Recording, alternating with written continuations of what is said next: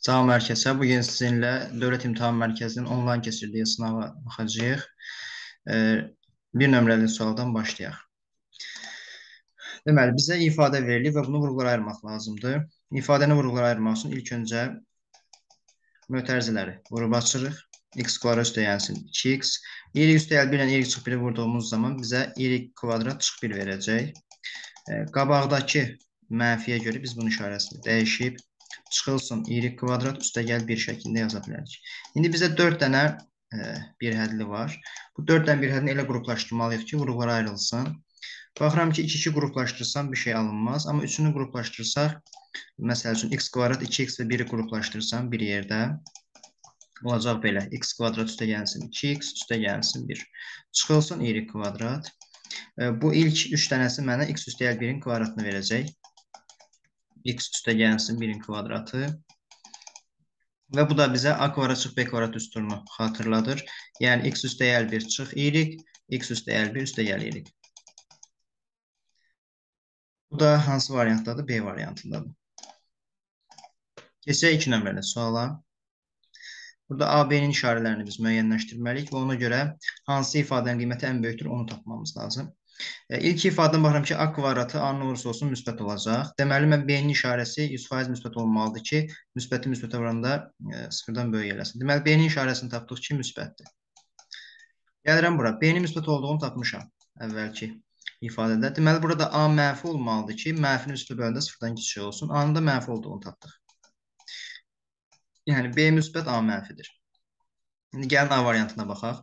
Hissə-hissə biz bölə bilirik bunları. Baxın, bu formada olanda hissə-hissə bölə bilirik. Rahat olsun deyə belə yazacağam. A böl B üstə gəlsin 1. A böl B mənfidir. Mənfinin üstünə 1 gələndə bu ifadə 1-dən kiçik olacaqdır. Gəlirəm bu ifadəyə. Burada da eyni şəkildə 2 vurulsun. A böl B çıxılsın 1. Burada A böl B mənfi olduğuna görə cavab sıfırdan mənfi olacaq elə bu ifadə. Sonra gəlirəm bura. Yenə A böl A 1 üstə gəlsin B böl A. 1-in üstə mənfilə gələndə o 1-dən kiçik olur. Gəlirəm bura. A, ə, e, A böl A 1-dir. 1 çıxılsın. 1 böl A kimi düşünsəm. B böl A da mənfidir. 1-dən mənfini çıxanda müsbət eləyəcək. Yəni bu ifadə 1-dən böyük olacaqdır. Gəlirəm Y-yə. E, A çıxılsın B. A mənfidir, B də müsbətdir. Mənfidən də müsbəti çıxanda cavab mənfi eləyir. Yəni 0-dan kiçik olacaq bu ifadə. 0-dan kiçik olacaq. Baxıram ki, iki ifadə 1-dən kiçikdir, iki ifadə 0-dan kiçikdir. Sadəcə D variantı 1-dən böyükdür. Deməli, ən böyük olacaqdır D variantı. Keçək 3 nömrəli suala. 27 üst üstəki 27 bilirik ki 3-ün kubudur. Bunu formada yazırıq. 4 üstü 2-də 3. 4-ün əvəzində 2-nin kvadratı yazırıq. Çıxılsın. 0,5-in 2-də 1 olduğunu bilirik. 2-də 1. Üstü mənfi 2. Davam eləyək. 3-ü 3-ə vurduq. Qaldı bizdə 3 üstü 2. Bunda 2 ilə 2 ixtisar 7 qaldı. 2 üstü 3 çıxılsın. Bu mənfiyə görə 2-də e, 1 yerin dəyişib oldu 1-də 2 və yaxud da 2 üstü 2. 3-ün kvadratı 9-dur. 9 vur 8 çıxılsın 4. 70-dən 4 çıxdığımız zaman cavab olaraq 68. Keçək 4 nömrəli suala. Həndəsi silsilə verilib bizə B1 üstəyəl B5 51-dir. Mən buradan B1-i çıxarsam ortaq vuruq kimi 1 üstəyəl 2 üstü 4 51-dir. Aşağıda B2-ni çıxarsam ortaq vuruq kimi 1 üstəyəl 2 üstü 4 102-dir. Tərəf-tərəfə bölsəm, tərəf-tərəfə bölsəm, e, olacaq necə? Deməli, e, tərəf-tərəfə bölsəm, baxın 1 böl 204-lər gedəcək, qalacaq B1 böl B2 2. 1 böl B2, 1 böl 2 qalacaq. E, həmçinin e, B2-ni də mən B1 vur Q şəklində yazsam 2-də 1. B1-lər gedəcək və Q-nün biz 2 olduğunu alacaq. Q-nü tapdıq. Q varsa B1-i tapa bilərəm. Yəni ki, buradan. Gətirəm, burada yerinə qoyuram. Baxın, bu ifadədə. B1 vurulsun. 1 üstə gəl, 2 üstü 4. Bərabərdir 51. 2 üstü 4, 16 üstə 1 gəldi, 17. Deməli, 51 17-yə bölsə B1 tapmış olaraq. B1 doldu 3. Amma bizdən nə istəyir? Bizdən S K-nı verib 189, B K-nı soruşur. Deməli, mən K-nın neçə olduğunu tapmam lazım. Bura olsun birinci mərhələ. İkinci mərhələdə nə edirik? S K-nın cəm düsturunu yazırıq. Həndəsi istəyir cəm düsturu belə olur da. B1 vurulsun. 2 üstü K çıx 1 və 2 çıx bir şəklində. Gətirib verənlər yerinə yazsaq əgər, deməli 189 bərabərdir. B1-imiz 3-dür. 2 üstü K çıx 1 və 2 çıx 1. Deməli, e, məxrəc onsuz da Deməli, 1 elədi. 1 189-u 3-ə böləndə 189 bölü 63. Eləcək 2 üstü k çıxıq 1, 63. Yəni 2 üstü k da 64 olacaq. K deməli 6-dır. Aha. Bu da olsun ikinci mərhələ. Son mərhələdə də k-nı da 6 tapdığımıza görə son olaraq bizdən e, B-k-nı istəyir. Yəni B6-nı istəyir. E, əlimizdə B1 də var, Q də var. Bunu da yazaram B1 vurulsun 2 üstü 5. Yəni 3 vurulsun 2 üstü 5. 3 vur 32 də eləyəcək 96. Və növbəti suala. Kompleks ədədini tapmaq tələb olunur. Burada da z-i tək saxlasaq, bu bizə nəsə verəcək? 3 üstə gəlsin, i bölünsün, 1 çıx i. Məxrəcdə i var. Deməli, biz bunu sadələşdirmək üçün nə edəcəyik? Məxrəcin qoşmasına vurub böləcəyik bu ifadəni. Yəni, 1 çıx i-nin qoşması ilə 1 üstəyəli. Həm məxrəci, həm də surəti 1 üstəyəli i-yə vuracaq. Aha. Məxrəc A üstəyəl B A çıx B-dən e, alınacaq 1 çıx i kvadrat. Yuxarı bir mötərizdən vurub açsaq 3 üstə gəlsin 3i, üstə gəlsin 1i, üstə gəlsin i kvadrat. i kvadrat mənfi 1-dir. Bu çıxa görə müsbət 1 elədi. Topladıq 2 qaldı. Yenə də i kvadratı mənfi 1-dir. 3-dən də 1 çıxdı 2 qaldı. 3 ilə 1-in toplayında 4 i eləyəcək. Və son olaraq hər iki ifadəni bayaq yazdığımız kimi 2-ni 2-yə bölürəm 1, 4-ü də 2-yə bölürəm 2i şəklində sadələşdirə bilərəm. Yəni C variantı. Keçirik növbəti suala. Aha, üçbucaq verilib bizə e, və ACB-nin 90 dərəcə olduğu verilib. Bir də M nöqtəsi ABC-nin müstəvisinə aid olmadığı deyilir. MC-nin CB-nin perpendikulyar olduğu verilib. Verilənlərə əsasən hansı təkliflər doğrudur deyə soruşur. Gəlin baxaq. AC deyir MC-yə perpendikulyar olarmı? Biz bunu bu formada iddialaya bilmərik. Niyə iddialaya bilmərik? Çünki ola bilər ki, bu üçbucaq bəlkə e, bu formada da ola bilər də. Elə deyim, məsələn, biraz daha aşağıda yerləşə bilər. Və yaxud bundan da daha da aşağıda yerləşə bilər. Yəni, biz bu formada iddialaya bilmərik. Ona görə e, birinci olacaqdır səhv. İkinci, MC AB-yə e, perpendikulyardırmı? Bu da bayaq dediyim kimi fərqli versiyalarda ola bilər. Ona görə biz bunu iddialaya bilmərik yenə də. MC ABC-yə perpendikulyardır. MC ABC-yə perpendikulyardır. Bu da doğru fikir deyil. BC-nin AC-mə e, perpendikulyarlığı isə doğru fikir ola bilər. Çünki bu hansı e, bu sadəcə 90 dərəcə olduğuna görə MC-yə, MC-nin də əmələ gətirdiyi e, müstəvi ilə perpendikulyar olmuş olacaq. Ona görə biz burada yalnız 4-ü götürəcəyik. Keçək e, digər suala. Bizdən soruşulur, deməli, üç tərəf verilib. Üç tərəf e, ABC ilə ifadə olunub, balaca hərflərlə. Deməli, AB ifadə olunub C ilə, AC ifadə olunub balaca B ilə və BC də ifadə olunub balaca A ilə. Və bizə deyir ki, CB1-i, yəni bu hissəni ABC-nin ifadə edin. Bizə nə edirik? Bura bir x deyirik, x-i soruşsun bizdən. Bura x-də burada x olma məcbur edin. Çünki bir nöqtədən iki toxunan çıxıbsa, məcbur ki, bura qədər olan hissələr eyni olsun. Yaxşı, bütövlükdə B-dirsə, mən balaca hissəyə niyə B çıx x demirəm? Çünki bütövlükdə B-dir də. Həmçinin A1 B-yə də A çıx x kimi baxa bilərəm. O zaman buradakı balaca hissələr də eyni məntiqlə yaza bilirəm. Baxın, bura B çıx x deyirsə, niyə mən bu hissəyə də B çıx x demirəm? Çünki bir nöqtədən çıxan iki toxunun bərabərdir. Həmçinin buradan çıxanları da eyni şəkildə yanaşacam. A çıx x. Və baxıram ki, B çıx x ilə A çıx x-in cəmi C-yə bərabərdir. Baxın, bu tərəfə bərabərdir. Artıq mən buradan rahat şəkildə B üstə gəlinsin. A çıx 2x bərabərdir C. X-i tək saxlayıb ABC-ni ifadə edə bilərəm. Baxın, e, C-ni keçirdirəm sol tərəfə, 2x-i də sağ tərəfə. Və hər iki tərəfi də 2-yə bölərək rahat formada C-in x-i tək saxlayıram. Deməli, x bərabərdir. A üstəyəl B çıxılsın. C bölünsün 2-yə. İndi mən bunu variantlara tapmaq lazımdır. A üstəyəl B çıx C bölünsün 2. Bu da eləyəcək B variantında. Keçək növbəti 8 nömrəli suala. Cəm, fərq və hasil uyğun olaraq 5 böl 1 böl 18 nisbətində. Nisbət verilibsə K ilə ifadə edə bilərəm. Ədədlərimi A və B götürsəm, cəm eləyəcək 5K fərq eləyəcək 1K. Hasil də eləyəcək 18K. İlk ikisindən, e, ilk ikisindən tərəf-tərəfə toplayaraq 2A 6K, A-nı 3K deyə bilərəm mən burada. A 3K-dırsa gətirib yerinə qoysaq, B də 2K olacaq. Hə, A3K, B2K. Niyə gətirib burada yerlərinə qoymuram? Gətirib burada yerlərinə qoysaq, 3K vurulsun 2K-nı biz 18K verilib. Hər iki tərəfdən K-ları atsaq, eləyəcək 6K, 18. K-mız da eləyəcək 3. Hə, deməli, e, K 3-dürsə A9, B də olacaqdır 6. Bizdən bu iki ədədin cəmini soruşur. Deməli, olacaq 15. Keçək 9 nömrəli suala. Kvadrat tənliyin kökləri həqiqi ədədlər olması lazım. Deməli, diskriminantı sıfırdan böyük, həm də bərabər götürə bilərəm. E, o zaman e, gəlin bunu həll edək. B-nin kvadratı 4-ün kvadratını yazacağım. Çıxılsın 4AC. 4 vur, 1 vur, loqaritma 2 əsasdan A. Şəklində yazsaq. 4-ü çıxarsam ortağı vurub, qalacaq bizə 4 çıx loqaritma 2 əsasdan A. Böyük bərabərdir 0. 4 onsuz da sıfırdan böyükdür. Deməli, mötərizənin içərisində sıfırdan böyük olması lazım. Bunun üçün də loqaritm 2 əsasdan A-nın 4-dən kiçik bərabər olması lazım. Bunun da qaydası necə idi? A kiçik bərabərdir 2 üstü 4-dən, yəni A kiçik bərabərdir 16-dan. Amma bununla da bitmir. Çünki bu loqaritmada demişik ki, bu hissə A mütləq şəkildə sıfırdan böyük olması lazım. Deməli, A sıfırdan böyük və 16-dan kiçik bərabər olması lazımdır. Keçək 10 nömrəli suala.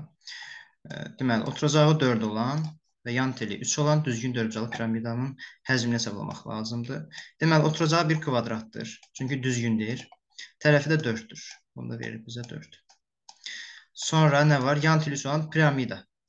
Piramidamızı çəkək formada. Və yan teli verilib bizə. Yan tel dediyi şey, yəni e, bunlar. Bunların hamısı 3-dür. İndi bizdən nə soruşur? Həzmini. Piramidanın həzmi düsturu biz bilirik ki, 3-də 1 S oturacağı vur H-dır. S oturacağı tapmaq rahatdır. Niyə? Çünki kvadratdır. Kvadratın sahəsi elə 16-dır da. 3-də 1 vur 16. İndi bizə lazımdır hündürlüyü tapmaq. Hündürlüyü çəkdim bura. Hündürlüyü də gəlib hara düşür? Diagonalların kəsişmə nöqtəsinə. Yaxşı. Tərəf 4-dürsə, diagonal neçə idi? E, kvadrat üçün A kök 2 düsturundan əgər yazsaq, 4 kök 2-dir. O zaman bu da gəlib yarıya düşəcək, 2 kök 2-yə düşəcək. Hə, o zaman mən Pifaqorla hündürlüyü tapa bilərəm də. Hündürlüyün kvadratı bərabərdir. 3-ün kvadratı çıx 2 kök 2-nin kvadratı. Yəni 9 çıx 8-dən 1. Deməli, hündürlüyü tapdıq 1-dir. Gətirib yerinə qoyacam. Cavab da eləyəcək 3-də 16. Yəni 5 tam 3-də 1. Keçək növbət suala. Loqaritm 6 əsasdan 2 verilib, 6 əsasdan 5 verilib. 3 əsasdan 5 tapmaq tələb olunur. Biz bilirik ki, 3 e, əsasdan 5 var və hər ikisini istədiyimiz formada e, təbii ki, şərtləri e, nəzərə alaraq 6 əsasdan yaza bilərəm. Məsələn, loqaritm 3 əsasdan 5-i mən loqaritma 6 əsasdan 5 bölünsün loqaritma 6 əsasdan 3 şəklində yazıram. Baxın, 3 və 5-i bu formada yaza bilərəm. 6 əsasdan 5 verilib bizə B-dir. Amma 6 əsasdan 3 verilməyib. Əvəzinə 2 verilib. O zaman bu 3-ü də parçalaya bilirəmmi? 3 ilə parçalamalıyam ki, 2 şəklində gətirəm. Bunun üçün də 6 böl 2 şəklində yazıram. 6 böl 2 şəklində yazıram. Və e, bu formada yazılışında açılışını biz bilməliyik ki, əgər bölmə kimi yazılıbsa, mən bunu fərq kimi yaza bilirəm. Əgər loqaritm aynısı bölmədirsə, ayrılıqda fərq kimi yazmaq mümkündür. Loqaritm 6 əsasdan 6 çıxılsın, loqaritm 6 əsasdan 2. Artıq yekun olaraq 6 əsasdan 6 1-dir, 6 əsasdan 2-ni də bizə A verir. B bölünsün 1 çıx A. Keçək növbəti suala. İki zərli birgahlıqda düşən xalların cəminin 4-dən böyük olması hasılsın ehtimalını tapın. O iki zər atılıbsa 36 dənə e, mümkün hal var. Gəlin biz 4-dən böyük daha çox olmalı. 4-dən kiçikləri tapaq. Deməli 1-1 ola bilər. 1-2, 1-3. 4-dən böyük deyirsə 4 və 4-dən kiçikləri axtarırıq biz. Deməli sonra 2 ilə başlayan 2-1, 2-2 ola bilər. 3 ilə başlayan da 3-1 ola bilər. Başqa da yoxdur. Deməli, 36 dənədən 6-sı bu şərti ödəmir. Bu şərti ödəyən qaldı 30 dənə. 36-dan 30-u bu şərti ödəyir. Bu da 6 ixtisar eləsək, 6-da 5 eləyər. Keçək növbəti suala. Yan səthinin sahəsi verilib, oturacağın sahəsi verilib. Biz bunun üçün düsturlar bilməliyik ki, 2pi RH yan səthin düsturudur yan səthin sahəsi düsturudur. Oturacağın sahəsi də pi r kvadratıdır. 9pi. Hər ikisini sadələşdirək indi. Pi'lər getsə buradan 2-yə bölsək, r vurulsun h 15 olacaq. Buradan da pi'lər getsə r kvadrat 9-dan r də 3 olacaq. Eğer üstü gətirib yerinə qoysaq, h eləyəcək 5. Bizdən də h-ı soruşur. Keçək növbəti suala. Qiymətlər çoxluğunu tapın. Biz bilirik ki, normalda ax kvadrat plus bx plus c üçün e, qiymətlər çoxluğu, yəni əgər a müsbət olarsa, qiymətlər çoxluğunun e, tapılması bu formadaydı. Y0 müsbət sonsuzluq müsbət sonsuzluq. Amma kökün içərisində varsa, kökün içərisindəsə biz bunu dəyişib bu formada düşünə bilirdik. Kökdə y0 müsbət sonsuzluq şəklində yaza bilərik.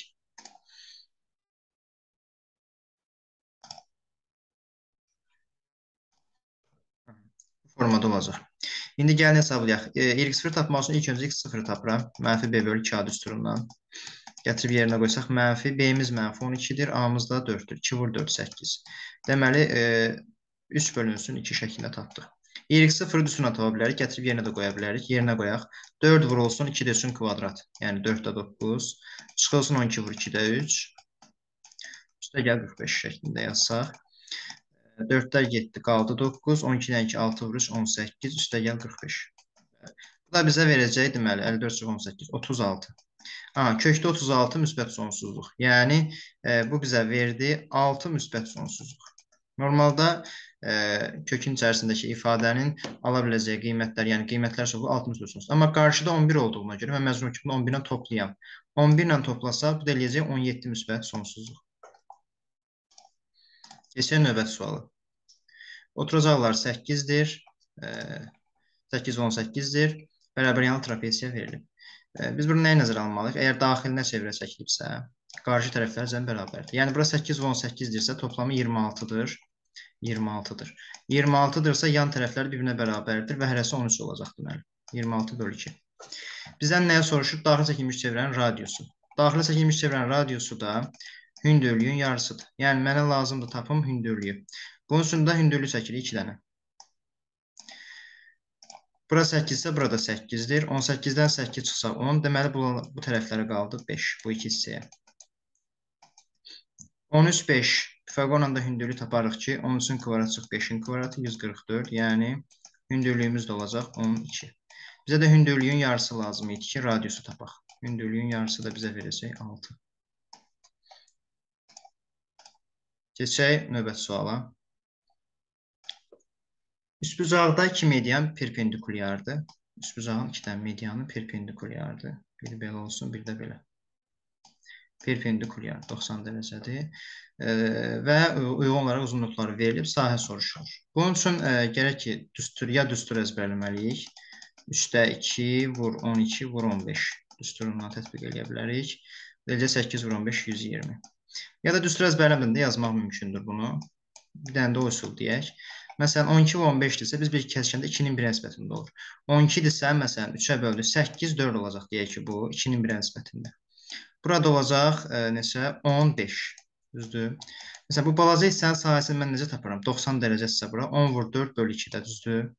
Yəni 20. Baxın, balaca hissənin sahəsi 20-dir. İndi mən üçüncü bir medianda çəkirəm və bu balaca S-lərdən 6 dənə əmələ gəldi burada. Fikir verdiniz? 6 dənə S-dir. Bir dənə S 20 tapdığıma görə 6 vur 20, 120 şəklində tapa bilərsiniz. Yəni də eyni cavabı alırıq. Sadəcə bu düsturda burada bu formada yazdıq. Fərqli formları da yaza bilərsiniz. Keçək növbəti suala, 17 nömrəli suala. Bərabər yanlış bucaq verilib bizə. Uzunluğu 4 olan yan tərəf var və yan tərəfə median çəkilib. Oturacağı soruşur. Bu da e, median tapılması düsturudur. Median bərabərdir 2-də 1 Medianın ən çəkildiyini ən axırda yazırıq. Digərlərini əvvəlcədən yazırıq. Məsələn, 2 vur 4-ün kvadratı üstə gəl, 2 vur x-in kvadratı. Ən sonra da medianın çəkildiyi tərəfi yazırıq. 2-ni 3-ə vurduq 6. İçərini sadələşdirsək, deməli, 2 vur 16, 32 çıx 16. 16 eləyəcək, üstə gəlsin 2x kvadrat. Əgər hər iki tərəfi kvadrata yüksəltsəm, 16, 36 bərabər olacaqdır. 16 üstə 2x kvadratına. 16-nı keçirsə 22x kvadratına bərabər olur. 20-ni 2-yə böldük 10. Deməli, x kvadratı 10-dursa, x də olacaqdır kökdə 10. Bizdən də oturacağı soruşur. Tapmış olduq. Keçək növbəti suala. BC şüası ABD-nin tənböləndir. Həmən alfa alfa yazırıq bura. Və burada Z-i görmək lazım təbii ki. Z-i görürsə burada alfadır və burada bir bərabər yanlış bucaq əmələ gəldi. CAB 70 dərəcədir. CAB 70-dirsə 2 alfa üstəyəl 70 100-dən alfanı tapa bilirəm mən. 2 alfa üstəyəl 70 180. Deməli alfa eləyəcəkdir 55. Bizdən nəyə soruşur? AC B-ni soruşur. Elə tapmış olduq ki 55-dir. Keçək növbət suala. Kəsr hissənin tapılması. Əgər kəsr hissə tap tapılan zaman sadəcə bunları tapsanız bəs eləyir. Çünki bizə tam hissə ə, e, önəm daşımır. Tam hissə necə olursa olsun, kəsr hissə dəyişmir. Çünki mənfi kök 79-u biz bilməliyik ki, hansı ədədlər arasında yerləşir. Normalda müsbət kök 79 8 ilə 9-un arasında yerləşir. Mənfisi də mənfi 9 ilə mənfi 8 arasında yerləşmiş olacaq. E, kəsr hissədə də necə idi qayda? E, kəsr hissədə ə, ədədin özündən, e, məsəl üçün, ədədin özündən tam hissəni çıxırıq. Düzdür? Mənfi kökdə 79-dan çıxmaq lazım idi mənfi 9-u. 2-dən mənfiyə görə bu oldu 9, çıxılsın kökdə 79. Belə. Keçək növbət suala. Mərkəzi O nöqtəsində mərkəzi O nöqtəsində olan çevrədə AB toxunandır. AB 15-dir. AC isə 9-dur. Uzatsaq biz bunu, uzatsaq və bura bütövlükdə bir x desək, düstur tətbiq edə bilərik. Toxunanın kvadratı bərabərdir 9 vur x şəklində. 225-i alınacaqdır buradan. 225 bərabərdir 9 vur x. Deməli, x-imiz də eləyəcək 25. Amma bizdən x-i soruşmur. x bütövlükdədir. Bizdən radiusu soruşur.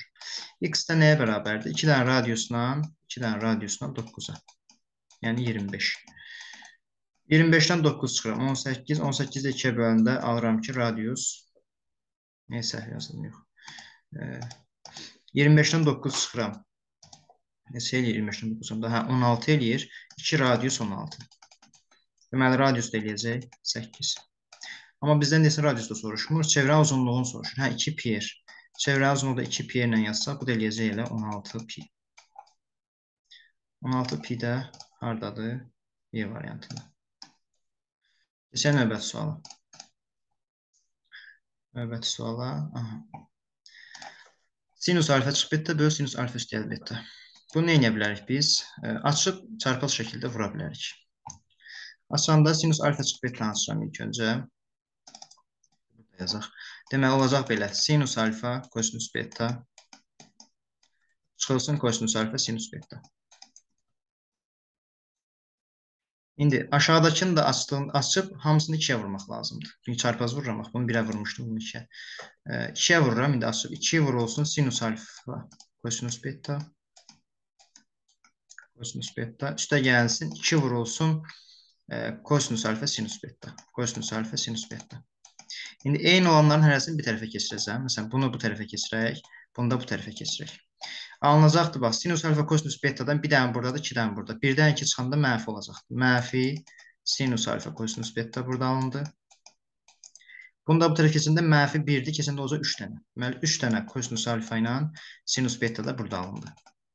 Hı -hı. İndi bizə baxın, tangens alfa və tangens beta var. Mən nə edərəm? Alfaları bir tərəfə keçirdərəm, betaları da bir tərəfə keçirdərəm. Baxın. Alfaları keçirsəndə ə, olacaqdır burada belə. Sinus alfa böl kosinus alfa. Betalarda keçəndə olacaq sinus beta kosinus beta. İndi bizdə qalıb nə? Burada bir dənə mənfi 1 qalıb, burada bir dənə 3 qalıb. Mənfi 1 də bu tərəf keçsəm elə mənfi 3 eləyəcəkdir burada. Deməli, mən bunu qısaca yazsam. Tangens alfa mənfi 3 dənə tangens betaya bərabərdir. Belə bir ifadə almış olduq. Gəlirəm indi bunu yuxarıda yerinə yazacağam. Tangens alfanın yerinə burada yazacağam 3 dənə, mənfi 3 dənə hətta tangens beta. Və tangens betaları ixtisar aparsaq geriyə qalacaqdır mənfi 3. Keçək növbəti suala. Tənliyin indi köklərinin hasilini tapın. Biz bunu ilk öncə, ilk öncə, gəlin belə yazaq. 2 dənədir də, loqaritm 3 əsasdan x-in 2 dənədir. Olar mən bunu belə yazım. Baxın, loqaritma 3 əsasdan x bir də loqaritm 3 əsasında. Çünki 2 dənə olduğuna görə ayrı-ayrı yazın. Çünki bir-birinə vuranda onsuz da kvadrat eləyəcək. Və aşağıdakı ifadə 2-dən 3-ə görə x qalacaqdı. x üstü loqaritm 3 əsasdan x qaldı. Fikir verdinizsə əgər. Hə, baxın fikir versə bu da elə x üstü loqaritm 3 əsasdan x-dir. Deməli 2 dənə loqaritma, 2 dənə x üstü loqaritm 3 əsasdan x alındı bizdə. 162. Nə edərəm? 2-ni təbii keçirəcəm bu tərəfə. x loqaritmi 3 əsasdan x bərabərdir 81. 2-yə böldüm. İndi mən e, bunu necə yaza bilərəm? Bu x-ləri yox eləmək üçün hər iki tərəfi loqaritmləyəcəm. Yəni, hər iki tərəfi loqaritm x əsasdan bir şey gətirəcəm. İfadə. x əsasdan gətirib yazdım aşağısına. Həmçinin sağ tərəfi də gətirəcəm. Baxın, loqaritm x əsasdan 81 oldu da. İndi soldakı bu x-lərə görə, bu x-lərə görə bu ifadə oldu loqaritma 3 əsasdan x qaldı. Eyni olduğuna görə. Sağdakını da belə yazarıq da. 81 üssü 4-dür. 4-ü qabağa ataram. Loqaritma x əsasdan 3. Aha. İndi bununla da iş bitmədi. Çünki e, mənə e, tənliyin köklərinin hasili istəyir bizdən. Deməli, nə edək? Bunu t ilə əvəzləmə aparaq gəlin. Məsələn, yazaq ki, loqaritma 3 əsasdan x də olsun bir t. O zaman loqaritma x əsasdan 3 neçə olacaqdır? 1 böl t. Onun tərsi 1 böl t. Həll eləyək. t bərabərdir 4 bölünsün t-yə. Çarpaz vuranda t kvadrat 4-dən. T-nin ala biləcəyi qiymətlər artıq məlumdur bizə. E, müsbət mənfi 2. İndi artıq gətirib yerinə qoyub x-i tapacağıq. Son mərhələdə də bunu eləyəcəyik. Deməli, loqaritma 3 əsasdan x-i bir dəfə müsbət 2-yə. Buradan alınır ki, x 3-ün kvadratı 9. Bir dəfə də gətirəcəyik mənfi 2-yə bərabər eləyəcəyik. Loqaritma 3 əsasdan x-də mənfi 2-yə bərabər eləyəcəyik. x də eləyəcək 3-ün mənfi 2, yəni 9-da 1 bizdən köklərin hasilini soruşur. Yəni 9 vurulsun, 9-da 1-i soruşur. Olacaqdır 1. Keçək növbət suala. Tənlik verilib və 0-3 parçasına daxil olan köklərin cəmini soruşur bizdən. Bunun da həlli yolu necədir? İlk öncə baxmalıyıq ki, yəni kosinusun kök 3 bölgünün aldığı yer haradır? Təbii ki, kök 3 bölgünün 30 dərəcədə. Deməli, Bunu səliqəli belə yazaq istəyirsə. Pi bölü 3, 2x üstəyəl 1 bu formada yazaq. Bərabərdir. Bunda dedik ki, pi bölü 6 da alır, 30 dərəcədə alır. Hə, müsbət mənfini unutmamaq şərtini. Üstə gəlsin 2 pika. Daha aydın olsun deyə buzanla yazıram. Yəni 60 dərəcə yazacağam bura. 2x üstə gəlsin 1 yazacağam. Və bir də müsbət mənfi 30 dərəcə üstə gəl. 360 dərəcə vurulsun. Eyni şeyləri dərəcəyə çevirib yazdım. Radianla verilmiş şeyləri dərəcəyə çevirdim. İndi bizə lazımdır nə? K-yə qiymətlər verib 0-3 aralığına düşən kökləri tapmaq. Biz bunu yazarkən K-yə ən kiçik yox, daha doğrusu K-yə biz birinci 0 veririk, sonra 1, sonra mənfi 1, sonra 2, sonra mənfi 2, bu şəkildə davam edirik. İndi gəlin yoxlayaq. İlk öncə K-yə 0 ver verdiyimiz zaman nə baş verəcək? 360 vur 0 gedəcək və bizim əlimizdə belə bir şey qalacaq. Bir dəfə 60 dərəcə vurulsun 2x dəyər 1 bərabərdir müsbət mənfi 30-dur. Birinci müsbət 30 yazacaq. Müsbət 30 dərəcə alınacaq. Hamısını 60-a bölsəm 2x üstə gəlsin 1 bərabərdir 30 bölü 60 2-də 1. 2x-imiz eləyəcək buradan mənfi 2-də 1. X-imiz də elədi mənfi 4-də 1. Hə. Baxıram ki, mənfi 4-də 1 bu aralığa daxil deyil. 0-3-ə daxil. Deməli, bu kənar kök kimi götürəcəm. İkinci bir şərt nə idi? İkinci bir şərt o idi ki, mənfi 30-a bərabər eləyəm. 2x dəyər 1-i mən mənfi 30-a bərabər eləyəm. Bunu həll eləmədən görə bilərsiniz ki, mənfi 60-a böləndə mənfi alınır, cavab yenə də mənfi alınacaq. Bu da kənar kök olmuş olacaqdır. Və bunun ardın getməyə mənası yoxdur. Deməli, k-nın 0 olduğu yerdə bizə lazım olan köklər yoxdur. Silirəm ona görə bunu. İndi k-ya 1 və mənfi 1 verib yoxlamaq lazımdır. Görüm, həqiqətən də köklər varmı bu aralıqda, yoxsa yoxdur. İndi gəlin k-ya 1 verək, yoxlayaq. K-ya 1 verdiyimiz zaman birinci müsbət e, şərti yazıram. Deməli 60 dərəcə vurulsun 2x plus 1. 30 üstə gəl 360. Müsbət 30 şəklində götürürəm hələ ki. İkinci versiyada mənfi 30 götürəcəm. E, bunu biraz da sadələşdirəndə deməli 390-a bərabər eləyəcək. Düzdür? Toplayanda 390 eləyəcək. 390. Sıfırları atıram hər iki tərəfdən. 2x dəyər 1 də bərabər olacaq. Deməli 39-un 6 hər ikisini 3-ə böləndə 13 ilə 2 qaldı. Yəni 13 bölü 2 6 onda 5. 2x-imiz eləyəcək 5 onda 5 və x-imiz də eləyəcək 2 tam %75. Aha. Baxıram ki, bu kök həqiqətən də 0-3 aralığına daxildir. Bunu bu ödəyəcək. Bunu götürürəm. Bu mənim oldu bir köküm. Keçirəm indi bunun mənfi versiyasını yoxlayam. Mənfi versiyasında da görək nədir. Deməli 60 dərəcə, yəni 2x dəyər 1 bərabərdir mənfi 30 üstə gəl 360 şərtini yoxlamaq lazımdır. E, bu dəfə də eləyəcək 60 dərəcə 2x dəyər 1 və 330 dərəcə. Sıfırları atdım, hər ikisini 3-ə böldüm, qaldı burada 11, burada qaldı 2. Yəni 5 onda 5. Deməli 2x dəyər 1 mən 5 onda 5-ə bərabər götürəcəm. 1 çıxanda eləyəcək 4 onda 5. 4 onda 5-in dəyərsi 2, 25 eləyəcək. Və baxıram ki, bu da mənim həllim 0-3 aralığına düşdüyü üçün götürəcəyik. Deməli 2.75 ilə yuxarıda yazıram. 2.75 ilə 2.25. 2.75 ilə 2.25 qoy yazaq bura. 2.75 və 2.25 bizim şərtimizdir. Ödədi. İndi K-ya e, mənfi 1, müsbət 2, mənfi 2 verdiyimiz zaman bunların heç biri ödəməyəcək. E, yoxlayıb baxa bilərsiniz. Ona görə bu ikisini bizdən e, ancaq ikisini götürəcəyik və bunların da cəmini soruşur bizdən. Bunların da cəmi eləyəcəkdir 5. Oldu cavab 5. Keçirəm növbət suala. Tənliklər sistemin verilib, x kvadrat y kvadratının həlli soruşulur. Diqqət yetirsəz, baxarıq ki, tərəf-tərəfə topladığımız zaman x-lər gedir. Görürsünüz burada x-lər gedir və belə bir şey qalır.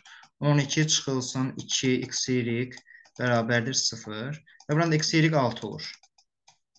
Bu birinci hə. Amma, amma mənə xy-dən əlavə, tərəf-tərəfə çıxsaq da, çıxsaq da, baxın. Diqqət edin bura.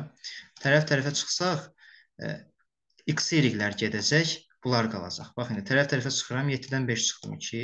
Mənfi x-dən x çıxıram, mənfi 2x. Y-dən mənfi y çıxıram, müsbət 2y şəklində qalacaq. Yenə də e, nə bilərik? Hamısını 2-yə bölüb və x ilə keçərək bitirdik. Hamısını 2-yə böldük. 1 çox x dəyər y 0 və e, 1 bərabərdir x çıx y şəklində yaza bilərik. Keçirdim sağ tərəfə. Amma bizə verilən, bu birinci mərhələ olsun. İkinci mərhələdə nə edəcəyik? Bizə x kvadrat y kvadrat soruşulduğuna görə mən tapdığım ifadələri buna gətirməm lazım. Yəni mən bunu x çıx y-in kvadratı üstə gəl 2x y şəklində yaza bilirəm. Bu da eləyəcək 1-in kvadratı üstə gəlsin 2 vur 6. Yəni 13. Deməli mən bu ifadə bərabər oldu 13. Keçək növbət suala. Aha, bu da vurğular ayırmanla bağlı bir sualdır. Məxrəcdə baxırıq ki, x-i çıxarsam rahat şəkildə alınacaq. Və surəti necə eləyə bilərik? Surəti diskriminant köklər tapıb da eləyə bilərsiniz və yaxud da çarpaz vurma üsulunda eləyə bilərsiniz.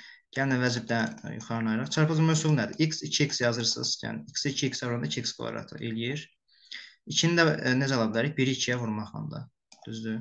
İndi ya 1-2 yazmalısınız, ya da 2-1 yazmalısınız. İndi yoxlayıb baxacağıq. 1-2 yazsaz 2 vur x 2x, 2x, 4x elədi. Amma bizə 3x lazımdır. Hə, deməli, yerini səhv yazmışıq. Bura mən 1, 2 yox, 2, 1 yazıram. Amma beləsə alınır. Baxın, 4x, bu da gəldi 1x. Çıxsam 3x alınır. Düzdür? Hə, deməli, işarələri müəyyənləşdirəyin. Deməli, bunun qabağına mənfi, bunun qabağına müsbət qoyuram. Niyə? 2x-i mənfiyə vuranda mənfi 4x, üstə gəl 1x, mənfi 3x. Deməli, bunu vurğularına ayırmağı bacardım. Oldu belə. x çıxılsın 2, 2x üstə gəlsin 1. Əla. Gətirirəm ifadədə yerinə qoyacağam.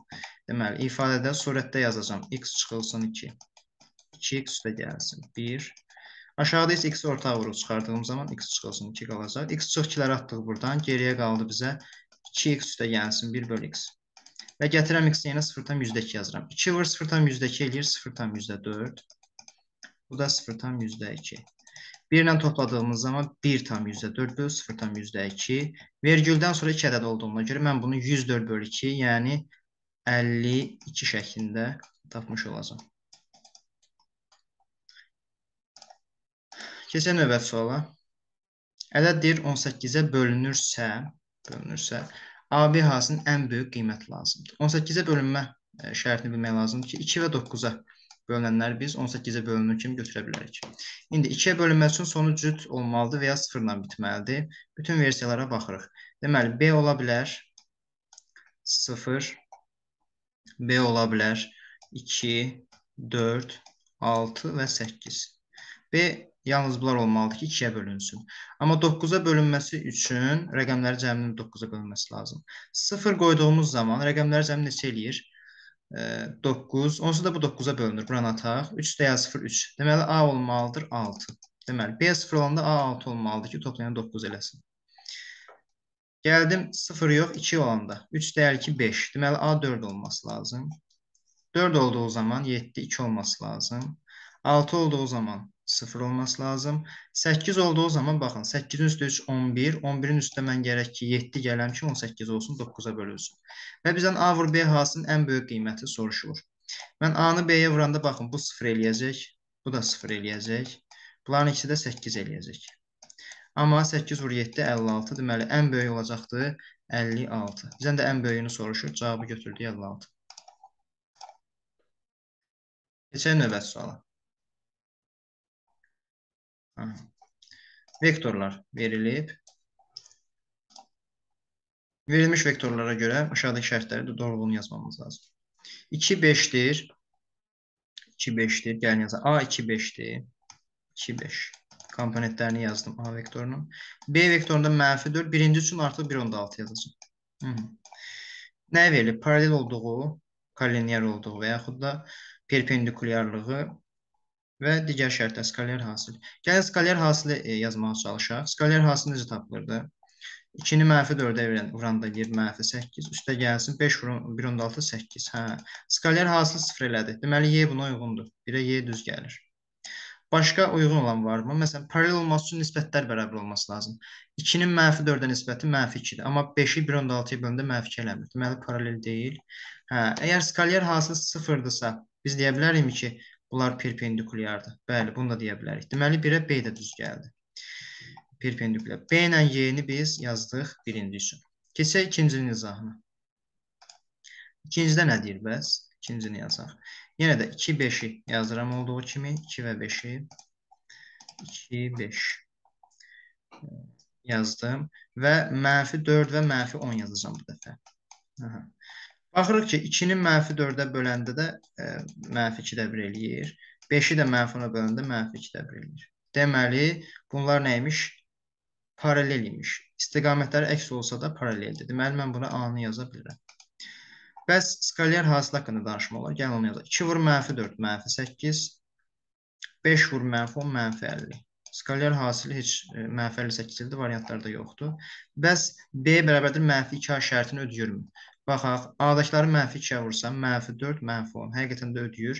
Deməli, C variantı da buna düz gəldi. A və C də buna düz gəldi. Üçüncünü də yoxlamaya ehtiyac qalmadı. Yoxlayanda skalyar hasil 7 eləyəcək. Bu da oldu. 1-ə B-yə, 2-yə A-cı, 3-ə də D. Keçək 28-ə. Deməli, bizə verilib bir düzbucalı trapesiya. Düzbucalı trapesiya verilibsə, bunları 90 dərəcə götürə bilərəm və e, paralellik verilib. YF AB-yə paraleldirsə, demək bunlara 90 dərəcədir. YC 15-dir. Bu hissəni 15 verib bizə. AB isə 40-dır. AB-ni də bizə 40 verib. Hə, və bir də sahəsi 2400 hamısı bütövlükdədir. Bir də başqa bir şey verib. Deyir ki, şəkildəki kimi iki eyni böyüklükdə. Deməli, bu iki hissənin sahəsi eynidir. İndi bura 40-dırsa, mən avtomatik B-yə 30 deyə bilərəm. Niyə? Çünki sahəsi 2400-dürsə, hərəsindən 1200 düşür sahə olaraq. Yarıya bölsək əgər, yarıya bölsək 2400-dür. E, Deməli, buranın da sahəsi 1200-dür, buranın da sahəsi 1200-dür. Deməli, B-yə 30 tapdım, deməli, burada 30-dur. Əla. İndi gəlirəm FD-ni tapmağa. FD-yə bir x deyirəm. Trapesiyanın sahəsi 1200 nə zaman olar? Deməli, oturacaqların cəminin yarısı. x üstə 15 bölü 2 vurulsun hündürlük. Hündürlük bu AB 40-dırsa YF də 40-dır. Deməli hündürlük də 40 olmuş oldu 1200. İndi nə edək? 1200-ü 40-a bölək. Olsun 3. 3-ü də 2-yə vuraq 6. Yox. 120-ni 4-ə böləcək 30. 2-ni də 30-a vuracaq 60. X üstə gəlsin 15 eləyəcək 60. Deməli X-də tapmış oldum ki 45-dir. X də oldu 45. Aha, bizdən perimetr istəyir. Biz hər şeyi tapmışıq, bir dənə CD-ni tapmamışıq.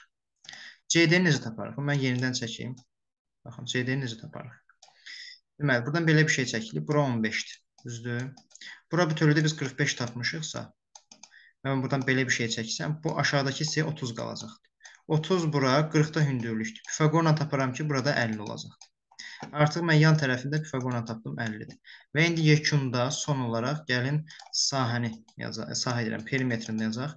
Deməli, AB oldu 40, BC oldu 30, 15, 45, CD-ni 50 tapdıq.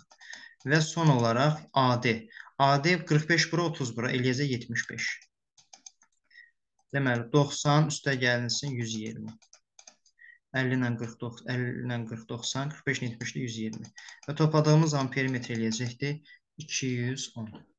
Bu da belə. Keçən növbəti suala. Deyir 7 qırmızı, 6 mavi, 5 yaşıl şar var. 3 şarı elə seçmək lazımdır ki, ikisi həmişə eyni rəngli olsun. Yaxşı. Mən bilmirəm ə, e, dəqiq hansı rəngdən eyni olma olsun. Ona görə bütün şərtləri yoxlamaq lazımdır. Deyirəm ki, birinci qırmızıdan 2 dənə olsun. Qırmızıdan 2 dənədirsə, onda avtomatik olaraq ya mavidən bir dənədir. Qırmızı 2 dənədirsə, ya mavidən bir dənədir, ya da yaşıldan bir dənədir. Düzdür? Belə bir şey. Üstə gəlsin. Bu dəfə deyirəm ki, Bu dəfə deyirəm ki, mavidən 2 dənə olsun. Bax, mavidən 2 dənə olsun. 6-dan 2 dənə olsun. Deməli, digər bir dənəsi ya qırmızıdan bir dənədir. Ya da yaşıldan bir dənəsini götürmək lazımdır. Deməli, ya da yaşıldan bir dənəsini, 5-dən e, bir dənəsini götürmək lazımdır. Son olaraq da deyirəm ki, bəlkə o 3 şardan ikisi bəlkə elə yaşıldır. Yəni, kombinasyon 5-dən 2 götürək. İkisi yaşıldırsa, digər bir dənəsi ya qırmızıdandır və digər bir dənəsi ya da e, ya qırmızıdandır, ya da mavidəndir. Ya da ki, mavidəndir. İndi bunu sadələşdirək və cavablarını yazaq. 7-dən 2 nə deməkdir? 6 vur 7 böl 2, yəni 21 vurulsun. 6-dan 1 6-dır onsuz da. 7-dən 2 21-dir, vurulsun 5. Üstə gəlinsin. 6-dan 2 5 vur 6 böl 2, yəni 15-dir. 15 vur 7. Üstə gəlsin 15 vur 5. Üstə gəl 5-dən 2 nədir? 4 vur 5 böl 2, yəni 10. 10 vur 7, üstə gəlsin 10 vur 6. Rahat şəkildə necə həll edərik biz bunları? Ee, baxın, 21-i 11-ə vuraram, düzdür? 21-i 11-ə neçə eləyəcək? 231. Üstə gəlsin. Vuraram 15-i 12-yə, 180. Sonra e, üstə gəlsin, onu da vuraram 13-ə, 130. Və bunları topladığımız zaman neçə eləyəcək? 130, 130. 180 130 olursa 310 buradadır. Və bu da eləyəcək 541.